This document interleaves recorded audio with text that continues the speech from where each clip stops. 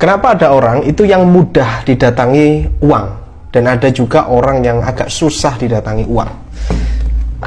Oke, kita semua yakin dan percaya bahwa rezeki itu sudah diatur oleh Allah Subhanahu wa taala. Cuman kenapa kok ada orang itu yang rezekinya banyak? Ada orang tuh yang kayaknya itu ke mana-kemana itu selalu didatangi sama duit. Ibarat cari duit itu gampang banget. Nah, ini yang akan kita bahas di video kali ini. Jadi jangan di skip-skip. Siapa tahu ada pesan ya yang saya sampaikan di sini yang masuk di tengah atau di belakang gitu ya. Jadi santai aja, relax ya. Sebenarnya saudara sekalian gitu ya ketika kita ngomongin tentang energi uang, energi keberlimpahan ya, itu ada satu poin yang perlu kita tahu, yaitu adalah nilai kepantasan.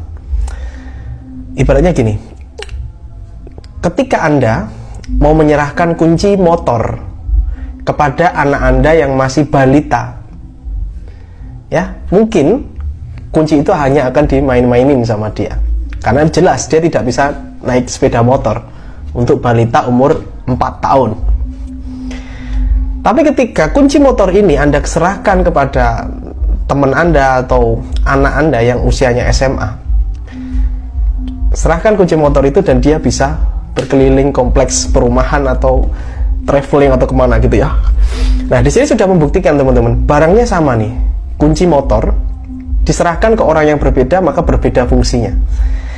Nah kembali ke konteks tadi tentang rezeki dan uang ketika Allah mau menitipkan uang sama kita, tentunya kita harus kita melihat dulu nih seberapa pantas kita menerima uang tersebut. Karena uang itu kalau diterima orang yang belum pantas, maka akan berbeda fungsi seperti tadi. Ya. Bagi anak balita yang umur 5 tahun tadi, uang 100 ribu itu sudah sangat banyak bagi dia. Karena bisa dapat banyak candy, banyak banyak permen, banyak jajan dan sebagainya 100 ribu. Tapi 100 ribu bagi orang dewasa umur di usia 30 tahun ke atas itu nggak nggak terasa apa-apa gitu 100 ribu. Satu juta pun bukan mungkin nggak terlalu terasa gitu ya satu juta. 10 juta baru lumayan kerasa gitu ya. Nah artinya saudara sekalian ketika kita ingin menarik uang yang lebih besar kita ingin dapat uang yang lebih banyak masuk dalam kehidupan kita maka pantaskan diri kita jadi kita harus mantaskan diri kita Bagaimana cara memantaskannya adalah dengan menambah input di pikiran kita. Di pikiran kita, di tindakan kita, ilmu kita ditambah, ya pengetahuan kita ditambah, relasi kita bertambah. Maka secara otomatis kita lagi melakukan proses pemantasan diri agar nanti kita dititipi rezeki yang besar dari Allah.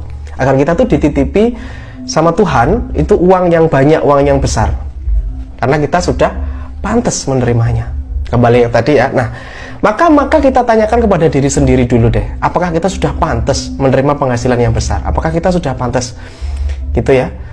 Karena saudara sekalian, walaupun kita tuh dikasih uang yang banyak sekalipun ya, kita dikasih satu miliar gitu ya. Kalau orangnya ini memang belum pantas menerima satu miliar, maka saya jamin uang itu akan habis. Karena berapapun uang itu pasti akan habis di tangan yang salah.